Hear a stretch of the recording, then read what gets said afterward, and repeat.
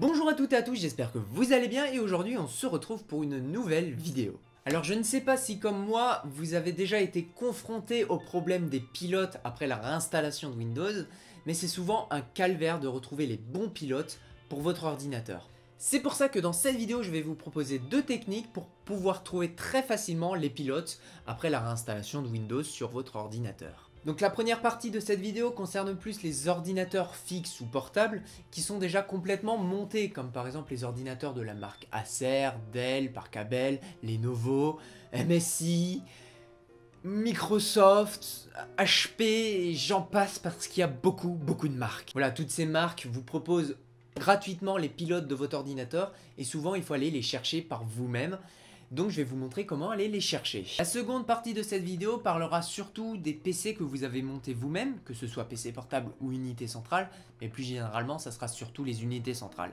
Mais cette seconde technique peut également vous servir même pour les PC qui sont complètement montés. Par exemple, si vous installez une version qui n'est pas prise en charge par la marque de votre ordinateur. Par exemple, cet ordinateur qui ne prend en charge que Windows 8 et Windows 10, dessus j'ai installé Windows 7, et bien pour trouver les pilotes disponibles pour Windows 7 pour les composants qu'il y a dans cet ordinateur, j'ai utilisé cette seconde technique. Pour vous y retrouver dans cette vidéo, vous retrouverez dans la barre de chargement de la vidéo les différentes étapes de cette vidéo.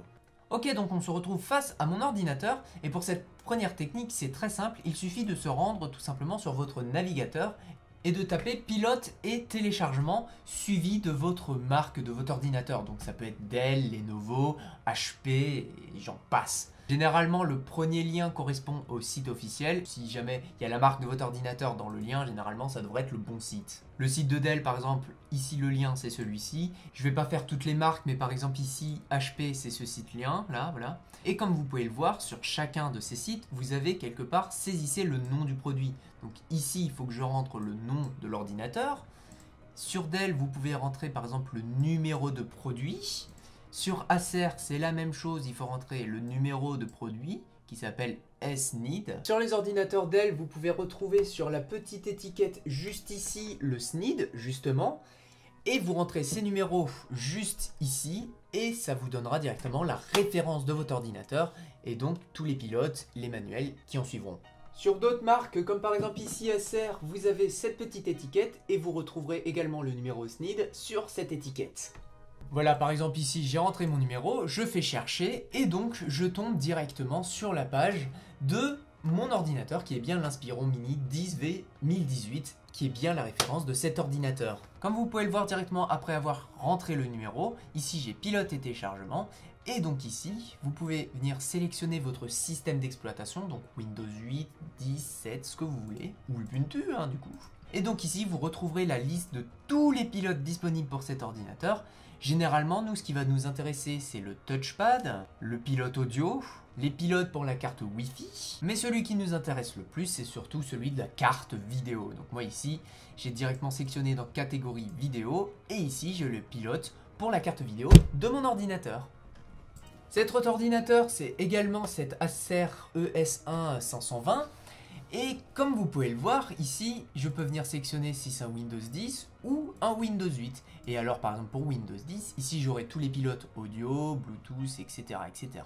Il vous suffit de cliquer sur télécharger. Ça se téléchargera en fichier zip. Et alors, vous aurez tout simplement le logiciel à installer sur votre ordinateur pour que le pilote soit pris en charge. C'est vraiment tout bête, mais en plus des pilotes, vous pouvez venir retrouver comment réparer l'ordinateur, mais également avoir des informations sur le produit et tout plein d'autres choses. Par exemple sur le site Dell, ici, on peut venir sélectionner pièces et accessoires et pouvoir retrouver des alimentations, des accessoires, des batteries, tout plein de choses pour réparer par exemple votre ordinateur soi-même. Voilà, j'espère que cette première technique a pu vous aider. Si ça n'est toujours pas le cas, on va passer à la seconde technique. Alors la seconde technique est un petit peu plus complexe mais reste quand même très simple. Par exemple, cette fois-ci, c'est pour un ordinateur que vous avez construit vous-même ou alors un ordinateur sur lequel vous mettez pas le bon système d'exploitation. Je vais reprendre l'exemple de mon ordinateur Acer, et comme vous pouvez le voir ici, je ne peux pas sélectionner les pilotes pour Windows 7, et les pilotes pour Windows 8 qui s'en rapprochent le plus ne sont vraiment certains pas du tout compatibles avec mon ordinateur, ce qui est vraiment très handicapant pour pouvoir faire fonctionner l'ordinateur correctement. Donc pour pouvoir trouver quel pilote mettre dans l'ordinateur, eh bien il va falloir bidouiller un petit peu. Déjà pour savoir quel pilote il va falloir télécharger, il va falloir venir se rendre sur gestionnaire des périphériques. Alors sous Windows 10 c'est très simple, il suffit de faire clic droit sur le menu démarrer et aller dans gestionnaire de périphériques. Je ne sais pas si sous Windows 8 ce raccourci fonctionne, mais en tout cas sous Windows 7, il suffit de se rendre sur le panneau de configuration, système et sécurité, système, et enfin, il suffit de se rendre dans Gestionnaire des périphériques. Une fois sur cette fenêtre, il va falloir venir sélectionner ce dont vous avez besoin.